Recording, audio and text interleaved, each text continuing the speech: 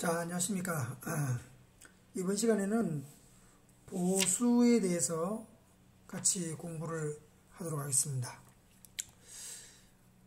어, 보수 부분은 그 기본적으로 보수라는 것은 이제 임의의 수를 보완해주는 다른 임의의 수를 말합니다. 잠깐만요.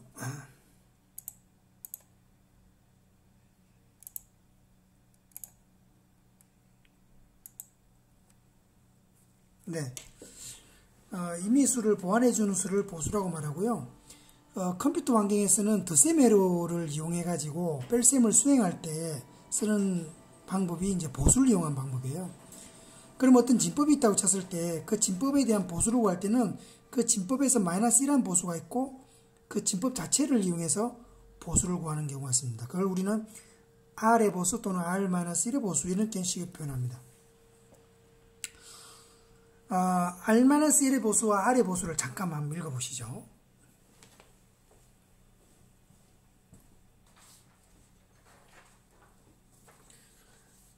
R-1의 보수는 어떤 진법에 대해서 마이너스 1을 한 보수입니다. 그래서 그 최고 큰 숫자, 예를 들면 10진법, 10진법 같으면은 R-1의 보수 같으면은 9가 가장 큰 숫자죠. 그 9에 해당되는 숫자를 해당 자릿수만큼 채운 다음에 빼주는 겁니다.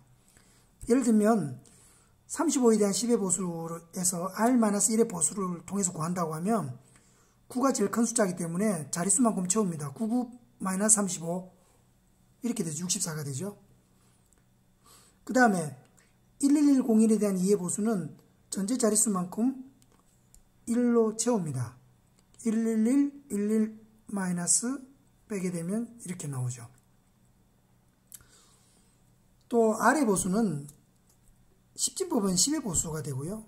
2진법은 2의 보수가 됩니다. 즉 그 자체가 보수를 처리하는 기준점이 된다는 거죠. 이럴 때는 자릿수만큼 0으로 채웁니다.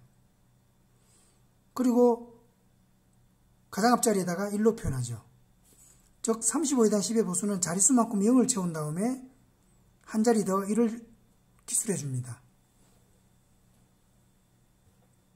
그 다음에 2에 대한 보수도 마찬가지입니다. 자릿수만큼 0으로 채운 다음에 다섯 자리죠. 앞에 1을 더 기술해 줍니다. 그리고 구합니다. 그러면 똑같은 똑같은 35에 대한 10의 보수가 여기는 64고 여기는 65잖아요. 눈치채셨겠지만 여기다가 플러스 1을 해줍니다. 플러스 1을 해주면 같은 결과를 구할 수 있다는 거고요. 이진수 덧셈에 대해서 먼저 공부를 하고 넘어가도록 하겠습니다. 0 플러스 0은 0이고 0 플러스 1은 1이고 1 플러스 0은 1입니다. 여기까지는 뭐 이해하기 쉽죠. 1 플러스 1은 해당 자릿수는 0입니다. 0. 그리고 올림수 1이 발생합니다. 여기에 1은 올림수입니다. 요거 좀 조심하셔야 되고요. 그러면 보수를 이용해서 뺄셈을 한번 해보려고 합니다.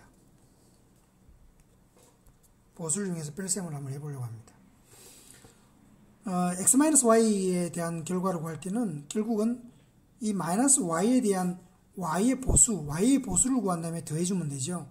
즉, x-y는 x 플러스 y의 보수 이런 개념으로 컴퓨팅 환경은 접근한다는 겁니다. 그러면 17-4를 구한다고 했을 때 17의 이진수를 구하면 10001이 됩니다.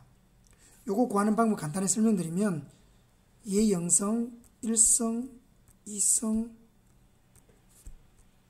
4성이면 이거에 대한 값은 1이죠. 2죠. 4, 8, 16이 되죠. 여기에다가 17을 만들기 위해서 불이 들어오는 위치는 여기에 불이 들어오면 되고, 죠 여기 불이 들어오면 되죠. 그러면 16 더하기 1하면 17이 되잖아요. 이해가십니까?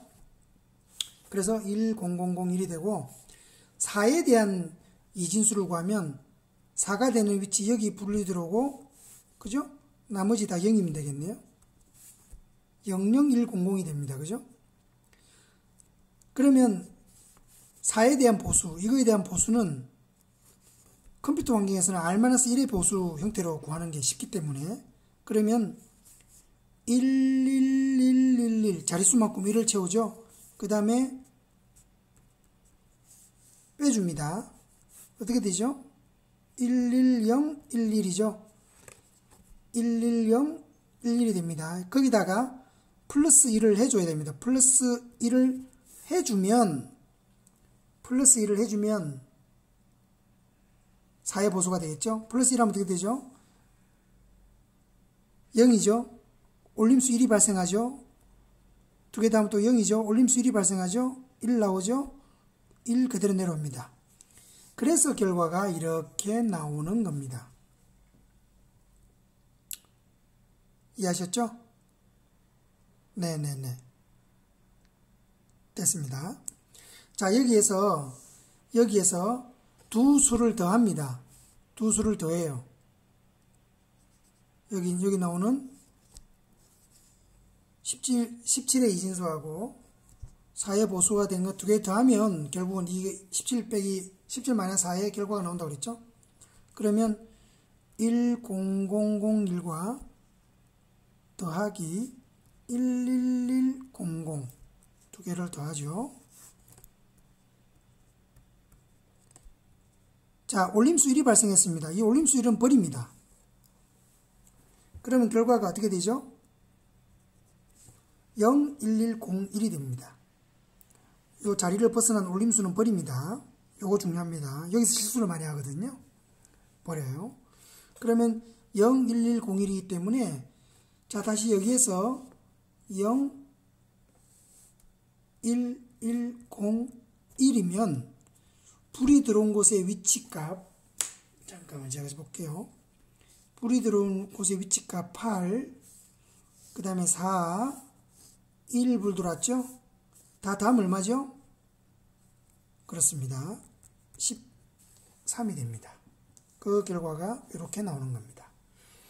자, 별로 어렵, 어렵진 않습니다. 진법 변환을 정확하게 이해하시면 되고, 그 다음에 두 수를 더한 다음에 앞 끝자리를 앞 끝자리 올림수는 버린다. 이게 중요하고요. 그 다음에 어, 보수를 구할 때는 보수를 구할 때는 R-1의 보수를 구한 다음에 플러스 1을 해주면 된다. 또는 그냥 아래 보수를 이용해서 관계는 없습니다. 수고하셨습니다.